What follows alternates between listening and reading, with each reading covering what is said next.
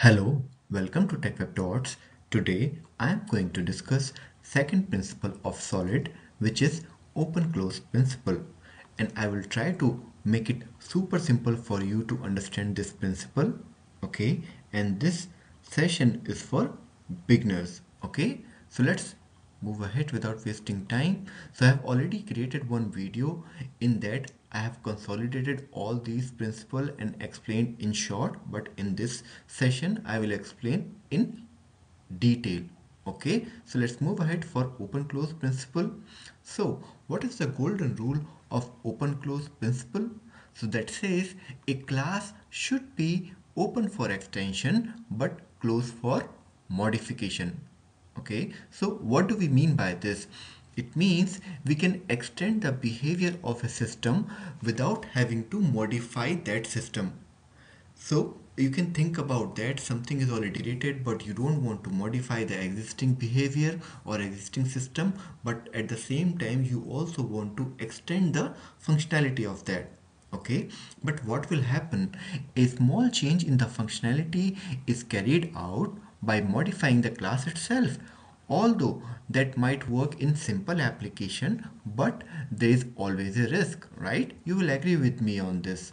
When you change a class it is possible that the change may adversely affect some other parts of the system and this requires retesting of the class right? Even the functionality the core thing we are updating so that is why a retesting will always required right? So wouldn't it be nice if we could add functionality without touching the class that has already been tested and is working as expected? Yes so that is what OCP or open close principle is about okay? So a module will be said to be open if it is available for extension. It means we can extend the functionality.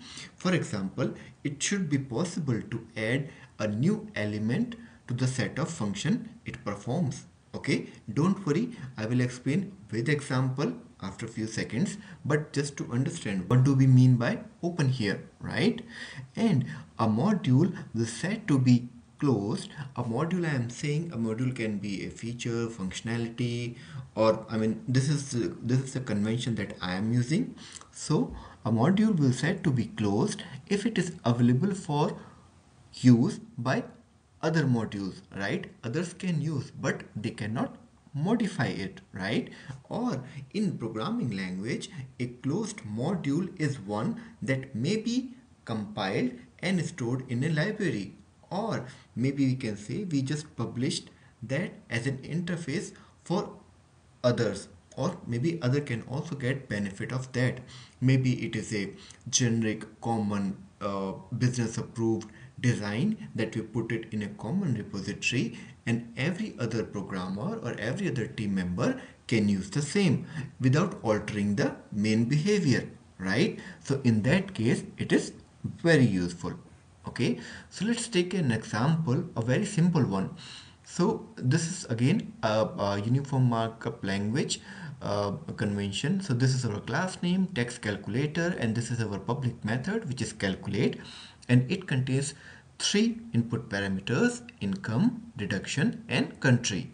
So what will what will happen if you want to calculate the tax right? So definitely according to the country every country has its own tax calculation uh, condition or parameter right? So it cannot be same for every country.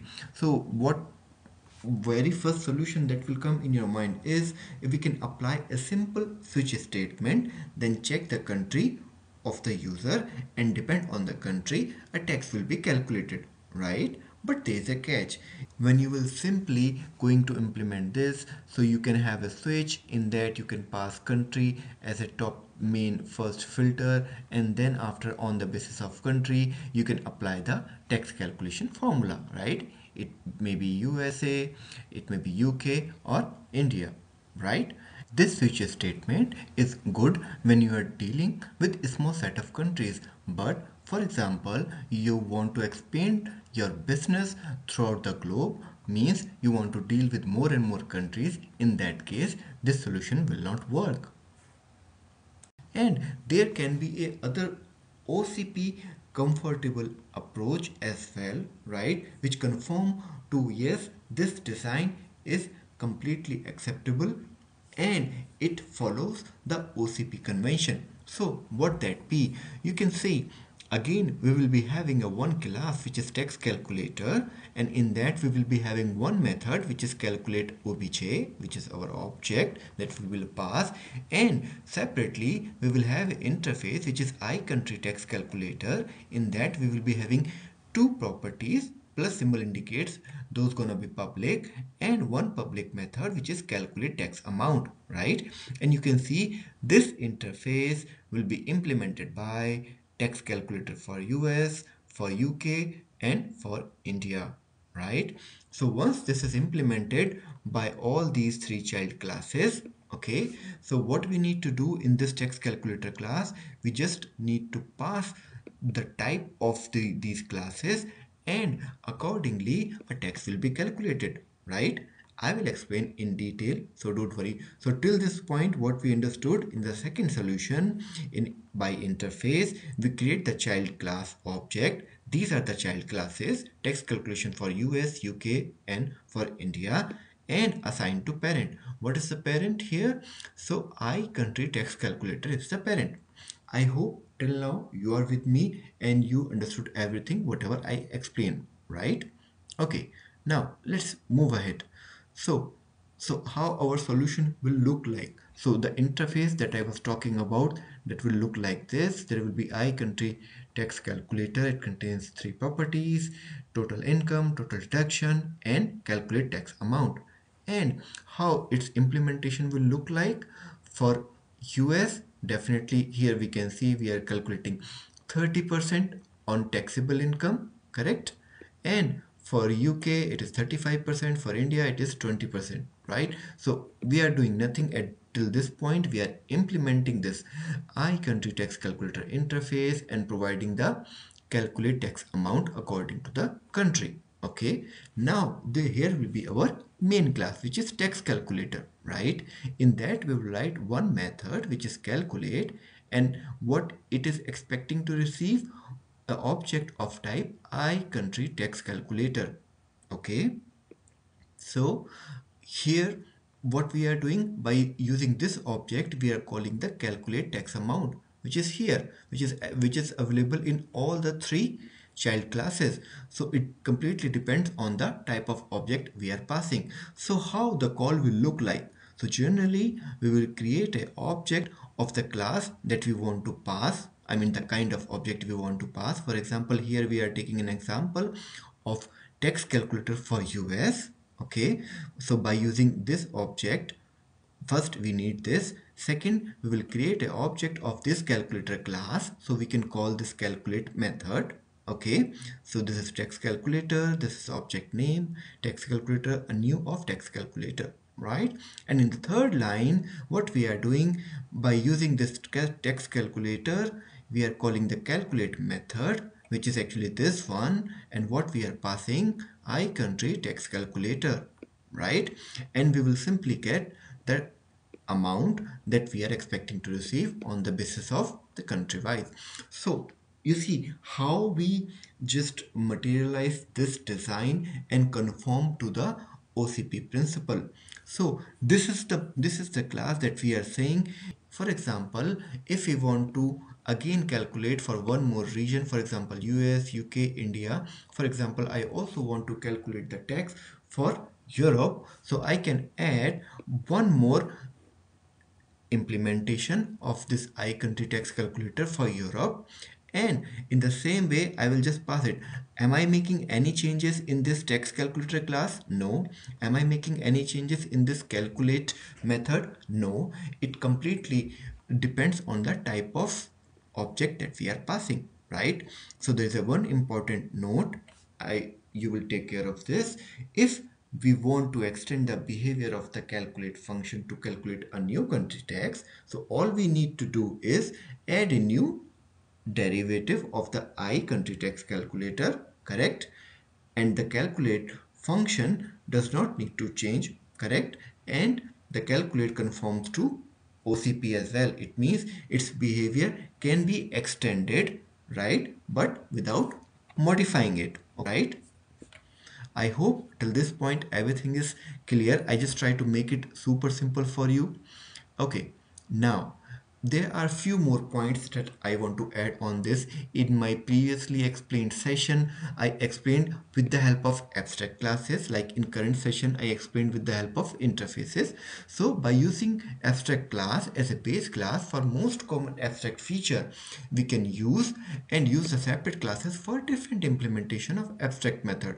If you recall from my previous session that where I explained all the principle, so this is our class salary calculator and this is normally calculating for an employee report. But if you want to calculate for senior developer junior developer so we just implement this uh, base salary calculator class that we created new and just implement its implementation right?